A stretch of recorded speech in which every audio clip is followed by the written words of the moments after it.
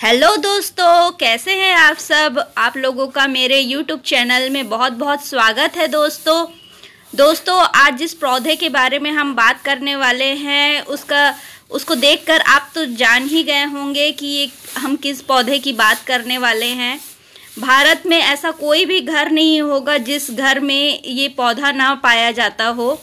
हर घर में इसे लगाते हैं और ये पौधा जो है, ये बहुत पूजनीय पौधा है। और पूजनीय क्यों है, इसके बारे में हम आपको पूरी जानकारी देंगे।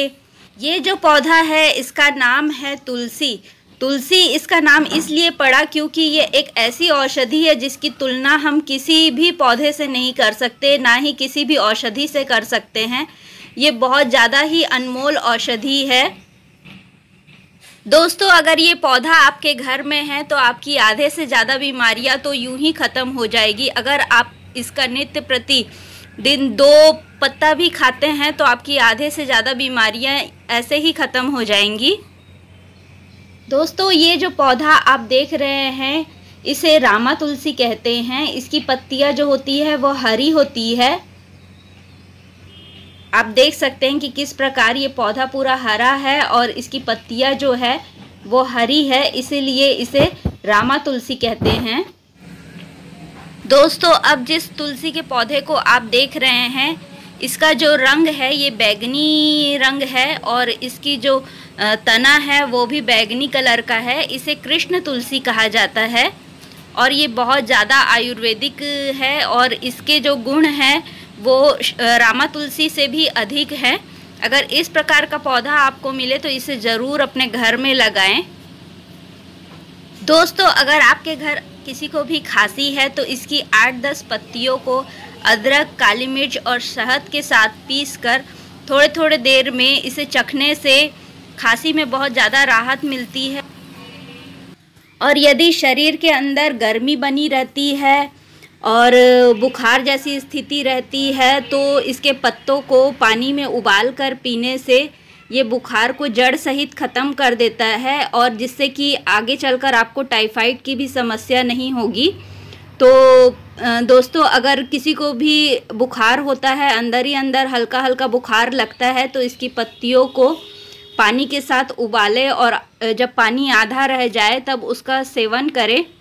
तो ये बुखार को जड़ सहित ख़त्म कर देगा। दोस्तों, अगर इसकी पत्तियों को पीस कर चेहरे पर लेप करते हैं तो इससे जो भी दाग धब्बे हैं चेहरे के और जो भी कील मुहासों की समस्या है, वो भी जड़ से ख़त्म हो जाएगी। और इसे रोज़ाना आप चेहरे पर हल्का सा पीस कर लगाएँ और आप खुद ही देखेंगे कि आपको कितना ज़्यादा फ़ायदा मिला है और कितना ज़्यादा आपके चेहरे पर निखार आ गया है। तो चेहरे की निखार के लिए भी इसका उपयोग किया जा सकता है। यदि किसी भी व्यक्ति को अस्थमा की समस्या है या सांस लेने में दिक्कत आती है तो भी इस पौधे के चमत्कारिक प्रयोग देखे गए हैं। और अगर इसकी पत्तियों को रोज़ाना सेवन किया जाए तो जो भी अस्थमा की प्रॉब्लम है, सांस लेने में दिक्कत होती है, उसमें भी बहुत ज़्यादा राहत होती है। और जिस भी बच्चे को बार बार टॉन्सिल्स हो जाते हैं, उनके लिए भी ये बहुत राहत देने वाला पौधा है। दोस्तों, ये मेरा चैनल नया है और इस चैनल में मैं आप लोगों को जो भी हमारी प्रकृति में जड़ी बूटियाँ हैं, उनके बारे में मैं जानकारी दूँगी, जो कि आपके स्वास्थ्य के लिए बहुत ज़्यादा काम आएँगी। तो कृपया करके मेरे चैनल को सब्सक्राइब कर ले, साथ ही बेल आइकॉन दबा ले।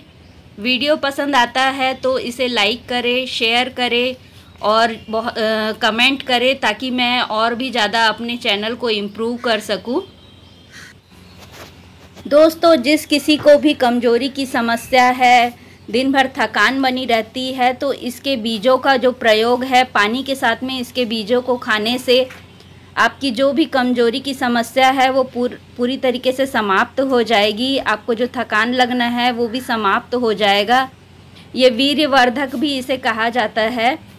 तो दोस्तों आप अपने घर में तुलसी अगर नहीं है तो ज़रूर लगाएँ और इसका प्रयोग करके देखें आपको ज़रूर फ़ायदा मिलेगा।